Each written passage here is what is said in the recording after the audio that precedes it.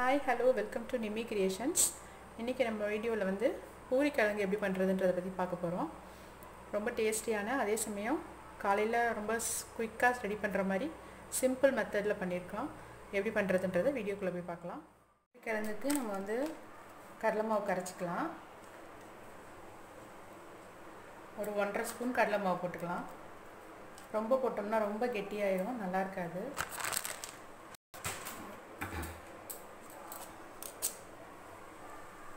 கால் spoon மஞ்சள் தூள்.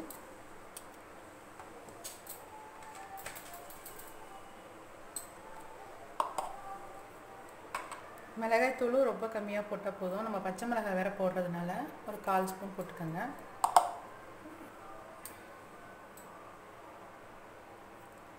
உப்பு பூரி பூரி கிழங்குக்கு எவ்வளோ தேவையோ அந்த அளவுக்கு போட்டுக்கலாம். ஒரு அரை ஸ்பூன் உப்பு போட்டிருக்கேன். இப்போ வந்து ஒரு அரை டம்ளர் தண்ணி ஊற்றி நல்லா கரைச்சிக்கிறோம் நல்லா கட்டி இல்லாமல் நல்லா தண்ணியாகவே கரைச்சிக்கோங்க.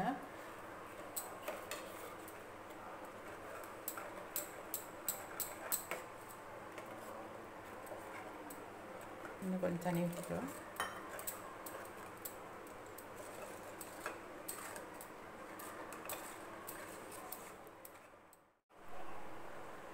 நல்லா கரைச்சாச்சு.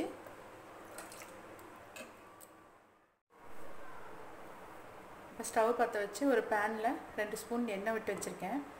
இப்போ எண்ணெய் நல்லா சூடானவுடனே கடுகும் கொஞ்சோண்டு சோம்பும் போட்டுக்கிறோம் தாளிக்கிறதுக்கு.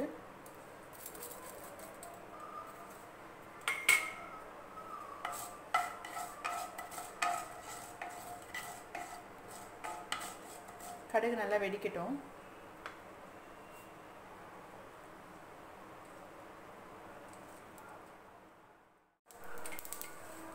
கடுகு வெடிக்க ஆரம்பிச்சிருச்சு. இப்போ கருவேப்பிலை போட்டுடலாம். ரெண்டு பச்சை மிளகாய் தீவி போட்டுடலாம்.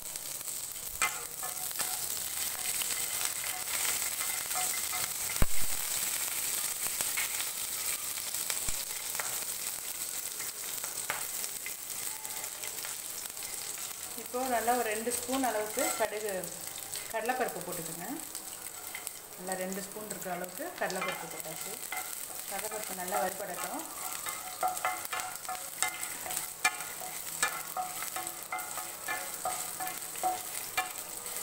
இந்த பூரிக்கிழங்கு வந்து காலையில் ஸ்நாக் டிஃபனுக்கு செய்கிறதுக்கு ரொம்ப ஈஸியாக செஞ்சிடலாம். பத்து நிமிஷம் இருந்தால் போதும். உருளைக்கிழங்கு வேக வைக்கிறது மட்டும்தான் வேலை. ஸ்கூலுக்கு ரெடி பண்ணி கொடுக்கும்போது ரொம்ப நேரம்லாம் ஆகாது. சீக்கிரமே செஞ்சு கொடுத்துடலாம் பிள்ளைங்களுக்கு இப்போ கடலைப்பருப்பு நல்லா வறுபட்டுருச்சு. இப்போ வந்து ரெண்டு ரெண்டு பெரிய வெங்காயத்தை நல்லா உதிரி உதிரியாக கட் பண்ணி வச்சுருக்கேன். இந்த மாதிரி தான் கட் பண்ணிக்கணும். வெங்காயம் கொஞ்சம் நிறையா தான் போடணும் பொரிக்கிழமைக்கு எப்போவுமே அப்போ தான் நல்லாயிருக்கும்.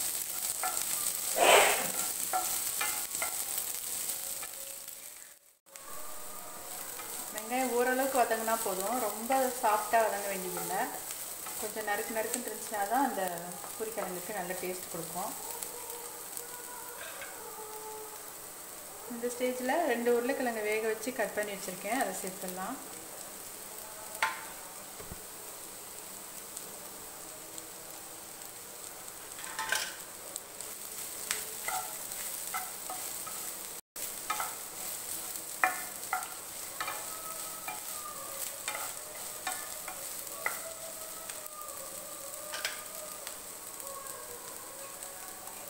இப்போ வந்து நம்ம கடலை மாவு மிளகாத்தூள்லாம் போட்டு கரைச்சி வச்சுருக்கோம்ல அதை ஊற்றிடலாம்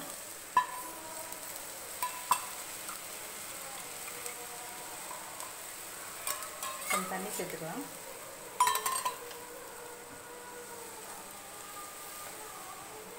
ரொம்ப தண்ணி ஊற்றிட வேண்டாம். ஓரளவுக்கு தண்ணி ஊற்றினா போதும். ஏன்னா இது கொஞ்சம் கெட்டியாக தான் இருக்கணும்.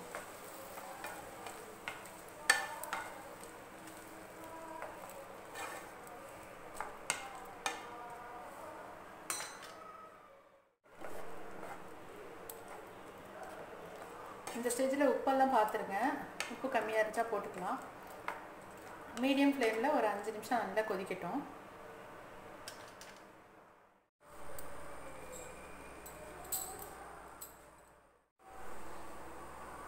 ரொம்ப செம டேஸ்டான நல்ல வாசனையான பூரிக்கிழங்கு ரெடி ஆகிடுச்சு நீங்களும் இதே மாதிரி பண்ணி பாருங்கள் இந்த டேஸ்ட்டு பிடிச்சிருந்துச்சின்னா இந்த வீடியோவை லைக் பண்ணுங்கள் ஷேர் பண்ணுங்கள் நிம்மி கிரியேஷன்ஸை சப்ஸ்கிரைப் பண்ணுங்கள் தேங்க்யூ